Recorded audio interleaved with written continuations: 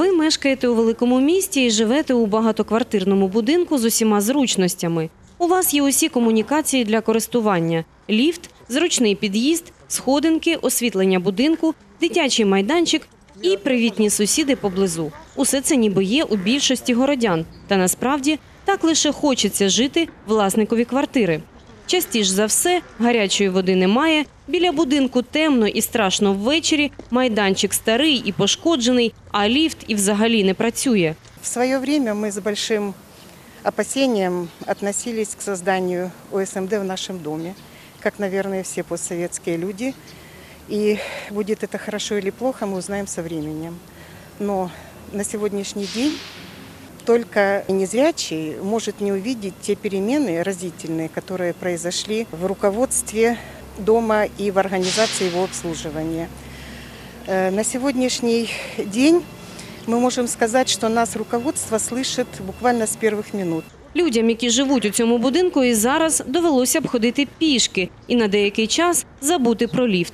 Три года назад, когда мы обслуживались у жилсервиса 1, из-за значительно меньшую поломку мы 9 месяцев обивали пороги различных инстанций. И не было никаких телодвижений со стороны никого. А в настоящий момент, вот когда жильцы объединились в ОСМД, и мы увидели, как работает и обслуживающая компания, как ЖСК-центр, и как э, Олег Владимирович Брасловец работает, наш управляющий, и в течение буквально полутора недель сделали 4 лифта. Зловмисники діяли швидко і за досить короткий час залишили деяких людей без можливості вийти на вулицю. Два слова «работает лифт» или «не работает», а для кого-то это и продолжается жизнь или останавливается.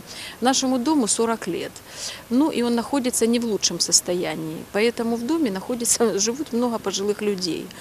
Ну, в частности, в моей семье тоже есть пожилые люди. И с неработающим лифтом это просто катастрофа.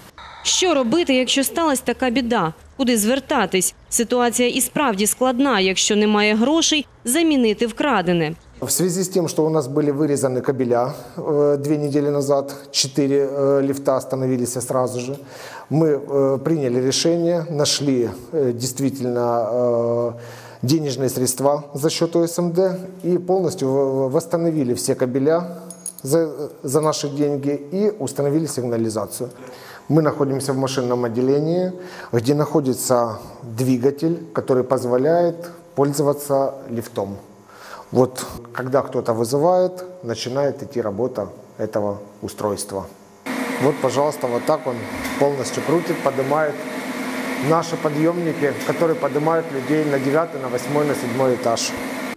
Хто несе відповідальність за цей злочин? І найголовніше, що робити людям, які і так ледве пересуваються, а без ліфту вони і зовсім втратять можливість повноцінно жити. В нашем доме живут старики, наши родители, которым э, отключение лифта это подобно смерти. Они не могут спуститься, могут, не могут подняться. Не у всех есть родственники. Если вы сейчас не отремонтируете лифты своим старикам, м, ждите такого же отношения через 15-20 лет к себе. Маючи гроші на рахунку об'єднання, мешканці самі можуть вирішувати, куди їх витрачати. Первая задача была, конечно, восстановить лифты. Пример соседних домов показал, что через три дня кабеля брать слезают. Поэтому главная вторая задача – это поставить сигнализацию, которую решил точно так же этот дом. Под охрану берется технический этаж, раз. Под охрану берется, это наше ноу-хау нашего дома, берется на разрыв кабеля, два. И самая главная задача – к нам приезжает охранное предприятие. Вони за два дні відновили роботу ліфтів і знайшли технічне рішення поставити їх під сигналізацію, аби можливості повторити злочин у зловмисників не було. Снимаем с сигнализации, ставим на сигнализацию, открываем машинное отделение. И здесь у нас получается полностью все под охраной. Если, не дай бог, сработала тревога, приезжает группа реагирования и задерживает злоумышленника.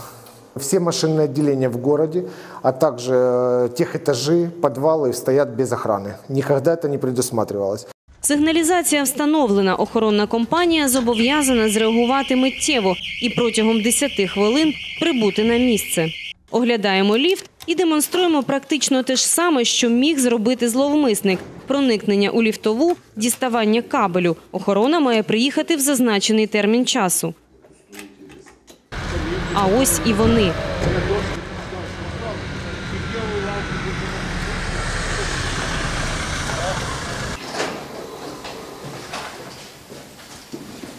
Прибыли на объект, э, осмотрели лифтовую шахту. Работаем, как всегда, по инструкции, быстро.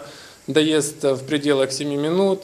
Все осмотрели. В случае, если на объекте появился ну, злоумышленник, э, мы его задерживаем, ждем, вызываем полицию, ждем приезда полиции и потом передаем сотрудникам полиции до дальнейшего выяснения дела. Таке рішення допоки не доводилось приймати. Та злочинів кожного дня стає все більше. Мешканці будинку змушені захищати спільне майно і дбати про нього як про своє.